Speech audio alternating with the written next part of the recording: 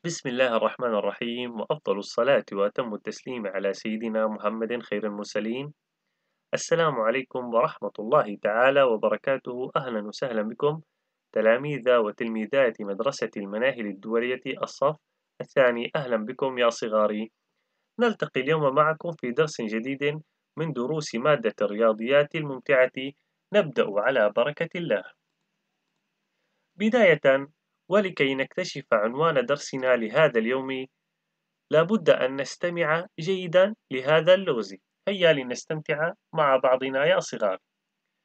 تشتري بي ما تريد مصنوع من ورق أو معدن. تدخرني في الحصالة لحين الحاجة. من أنا؟ هيا فكروا يا صغار. ما هو الشيء الذي نستخدمه لشراء حاجياتنا وهو مصنوع من ورق أو معدن؟ ونقوم بحفظه في الحصالة ونستخدمه عند الحاجة. ما رأيكم؟ هيا فكروا يا صغاري. ما هو برأيكم؟ نعم أحسنتم. إنها الأوراق النقدية كما نشاهد في هذه الصورة. نشاهد هنا الأوراق النقدية وتكون إما مصنوعة كما هو معلوم لدينا من الورق أو من المعدن. فيكون عنوان درسنا لهذا اليوم الأوراق النقدية. بداية. دعونا نتعرف يا صغاري على معنى النقود. النقود هي التي ندفعها ثمنا للأشياء التي نشتريها. لكن قديما قبل اختراع النقود الموجودة في عصرنا اليوم كان الناس يستخدمون نشاهد هذه الصورة كانوا يستخدمون ما يسمى المقايضة أي ما تعني المبادلة. حيث إذا أراد المزارع الحصول على الخبز أعطى الخباز كمية من الثمار نشاهد هنا خبز وهنا ثمار. ولو أراد الخباز الحصول على الثمار يقوم بإعطاء المزارع الخبز وفق اتفاق محدد بينهم. ولو أراد المزارع كما نشاهد في هذه الصورة الحصول على الثياب يقوم بإعطاء الخياط أيضا مجموعة من الخضروات والفواكه وفق اتفاق محدد بينهم. وبالعكس نسمي هذه الطريقة المقايضة أو المبادلة. ولكن مع مرور الزمن أدرك الإنسان أن هذه الطريقة طريقة المقايضة والمبادلة غير مريحة. فماذا حصل هنا؟ دارت النقاشات والحوارات بين الناس. فاخترعوا فكرة استخدام شيء رمزي يتفقون على قيمته وهي ما نسميها اليوم العملة أو النقود. فاستطاع المزارع الحصول على الخبز بإعطاء الخباز بعض النقود كما نشاهد في هذه الصورة. حصل المزارع على الخبز بإعطاء الخباز مجموعة من العملات المعدنية أو النقود. ويستطيع الخباز شراء ما يريد باستخدام هذه النقود التي أخذها من المزارع. وتوجد النقود في صور معدنية وورقية. هنا معدن وهنا ورق نشاهد هنا العملات المعدنية مصنوعة من المعدن وهنا العملات الورقية النقود الورقية. جميل وممتع جدا. فالنقود يا صغاري هي وحدة تبادل تجاري أي يستخدمها الناس لتبادل المنتجات ووحدة قياس متفق عليها ومضمونة ولكل دولة يا أعزائي عملة خاصة بها. واسم محدد لهذه العملة تميز كل دولة عن غيرها من الدول. وبما أننا نحن من سوريا ونسأل الله العلي القدير وندعو الله في هذه الأيام المباركة أن نعود إلى وطننا سوريا. سوف نتحدث عن الأوراق النقدية في سوريا.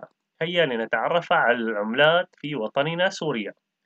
يرمز لليرة السورية بحرفي لام وسين. ليرة سوريا لماذا هذه التسمية؟ أي الحرف الأول لكلمة ليرة والحرف الأول لكلمة سوريا نشاهد نحن الآن في تركيا.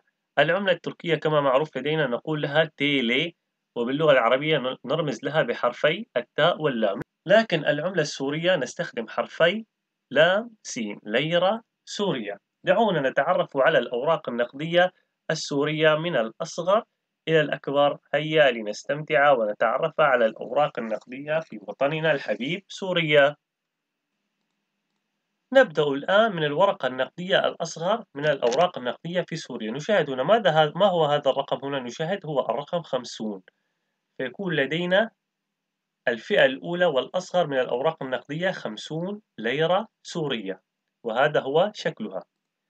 نتابع ماذا نشاهد هنا؟ الرقم 100 فيكون لدينا 100 ليرة سورية. نشاهد هنا الرقم 200 فيكون لدينا 200 ليرة سورية. هذه هي فئات الأوراق النقدية السورية. نتابع أيضا هناك فئات أكبر. هذه فئة ما هو الرقم هنا؟ ما هو يا صغاري؟ 500 ليرة سورية. وأخيرا الفئة الأكبر فئة الألف ليرة سوريا جميل جدا. بهذه الألوان المتعددة والمتنوعة. هذه هي الأوراق النقدية السورية. نسأل الله أن نرجع إلى بلدنا سوريا ونستخدم هذه الأوراق النقدية.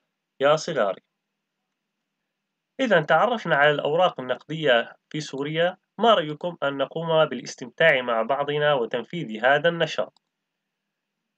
صل كل من الأوراق النقدية. بقيمتها. لدينا هذه الفئات الأوراق النقدية سوف نقوم بوصلها بقيمتها.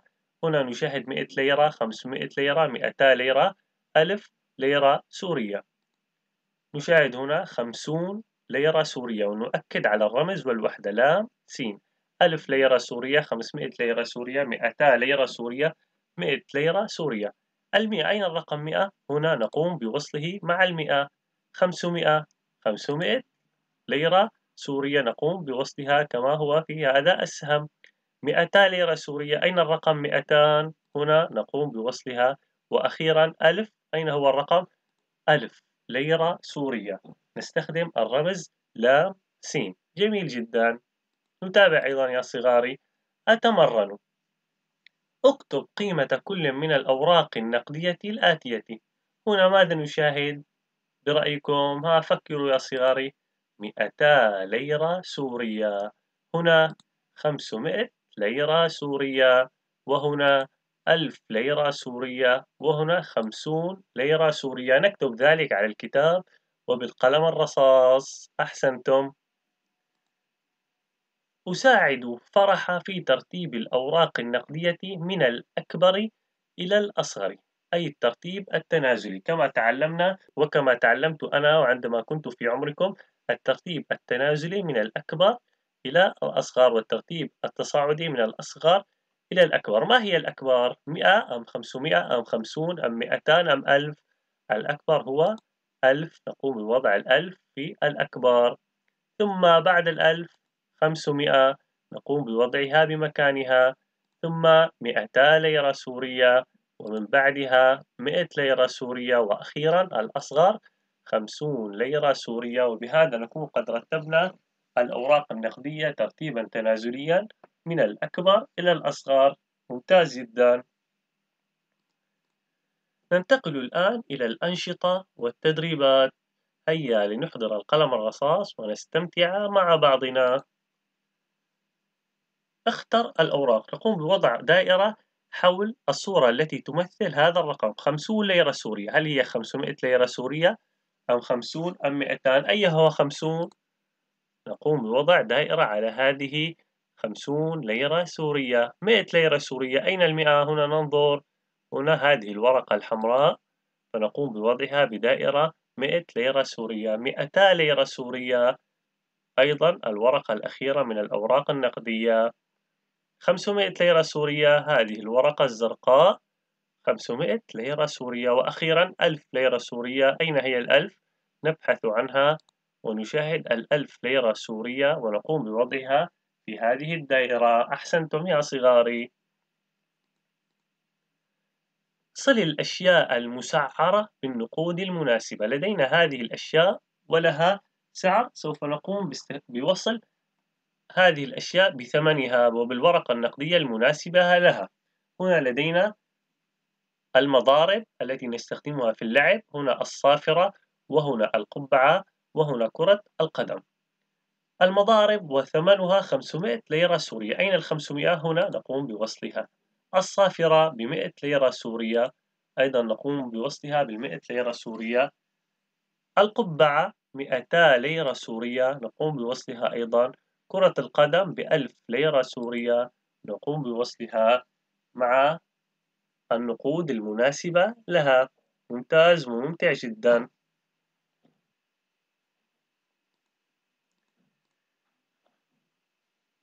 وبهذا يا صغاري نكون قد وصلنا إلى نهاية درسنا لهذا اليوم.